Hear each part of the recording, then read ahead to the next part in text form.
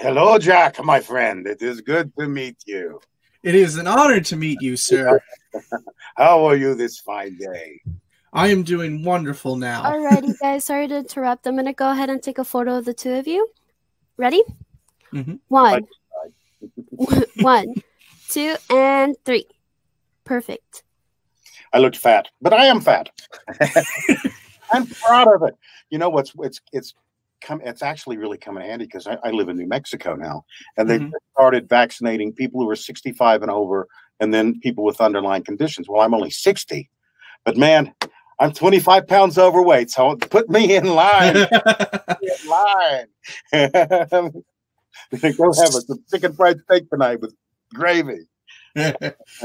so uh the first thing I was wondering, do you by any chance have a go-to or a favorite piece of Iroh wisdom? I do, and if this has, uh, I mean, there's so many things that Of course, everything he says is wise. that are, that are applicable to to the times in which we find ourselves. But the one that really resonates with me, uh, and, and and it hit me one day. I was I was telling the story. It was shortly after the pandemic hit. My my son was in New York when that was so scary. My my daughter's in Pasadena. We're in New Mexico. I'm freaking out. Like, what is going on? Right. I was walk. I was out for a walk, and uh, the sky was blue, and I heard the birds singing. And I said, "Wait a minute. You know what?" It- It made me think of this Iroh Iroh line from Legend of Korra, which is, uh, "If you look for the light, you can often find it. If you look for the dark, that is all you will ever see." And that's you know, to me, that's sort of getting through this this, you know, trouble, deeply troubling times in which we are. I, I right.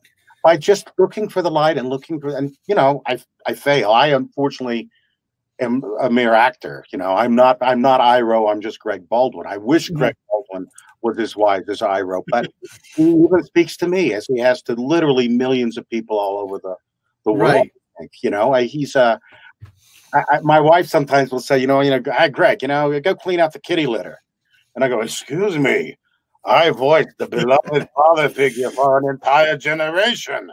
And she's like, I don't care. All right, dear, I'll go. Yeah, I'm going. Cleaning out the kitty litter. Going now. So on the subject of wisdom, do, who do you think is more wise or is it equal? Uh, Master Splinter or Uncle Iroh? Or is it this pretty much they're the same level of just wise master?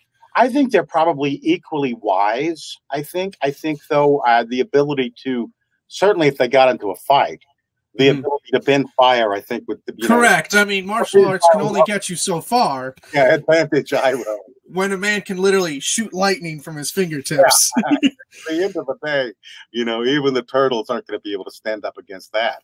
But you know, a wonderful people uh, because I also was Aku on Samurai Jack, who's voiced by Mako, and he's the diametrically opposed to Iroh. It's light and darkness, and I think if Iroh fought Aku, I would have to probably say advantage Aku. What is more what, what is more fun to voice like a a low wise person or a dark menacing presence? I always say the difference between Iroh and Aku, and it's literally the same voice because it's Mako. Mhm.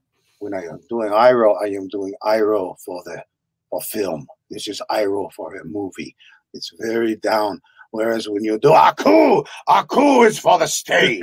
he is saying to the balcony, and that is the difference between it. Well, it was really great meeting you. You were pillar of my childhood. Oh, I thank you, Jack. I thank you so much. I watched Avatar as it premiered, and then you know we were all sad when Mako passed. But I thought you did a fantastic job. thank you. That makes me feel so good when I hear people say that. You know, it makes me it really does. And I, I have tried it literally, it has been, except for my wife and kids, the greatest blessing in my life because it's tangible. Th- This has turned out to be more than just an acting gig. I- Right. Iroh makes an impact. He is an impactful character in people's lives and, and a force for good in a world when uh, we desperately need that. And as Right. as you know unworthy as i am it's it's it's great to be able to have the opportunity especially in these times But you have treated the character with such respect. I could not possibly think of anyone other than Mako who could possibly do it justice. well i thank you i thank you my friend from the bottom of my heart soon we will meet in the real world a cup of jasmine tea. All right, uh, Long Island tea. Well, Before we go, do you actually like tea? you know what? I grew up in the South, uh, so I'm very fond of sweet tea. My my my experience with tea is sweet tea, pretty much. I mean, I believe Gotcha. I, I eat. I'll have uh, I'll have you know hot tea when I'm at a at a at a Chinese or Japanese restaurant, but I'm more likely to have sake. than I- Right, right, right. But I just had to ask. You know, a friend asked me, like, I wonder if he truly does enjoy tea. and Long Island tea on occasion, but only no more than two. well, have yourself a wonderful night. You too. It is a pleasure meeting you. Have a good one, my friend. You too.